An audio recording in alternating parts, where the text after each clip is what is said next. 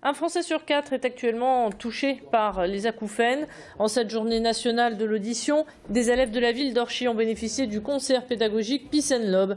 L'idée est de les sensibiliser aux risques auditifs liés à une forte écoute. Cette animation est interactive. Elle leur explique comment leurs oreilles peuvent souffrir en allant en boîte de nuit ou à un concert.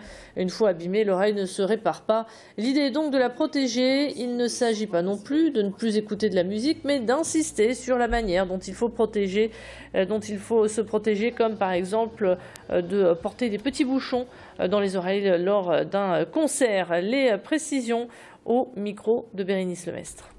On sait que demain, les gros problèmes de santé publique vont arriver sur l'écoute du lecteur MP3. Les gros problèmes de santé qui vont se développer, c'est euh, le fait d'avoir des acouphènes de plus en plus présents. Les acouphènes, c'est quand vous avez des fréquences fantômes qui se mettent à siffler dans vos oreilles. Il y a des problèmes d'hyperacousie. C'est le moment où le moindre cliquetis, certains chocs, certaines fréquences vont vous agresser particulièrement. Et ce à quoi on assiste en fait, c'est un vieillissement prématuré de l'oreille. Le souci qui va se développer demain, c'est que là où une personne développait ses de surdité à partir de 65, 70, 80 ans. Demain, ça va être à partir de 35, 40, 45 ans.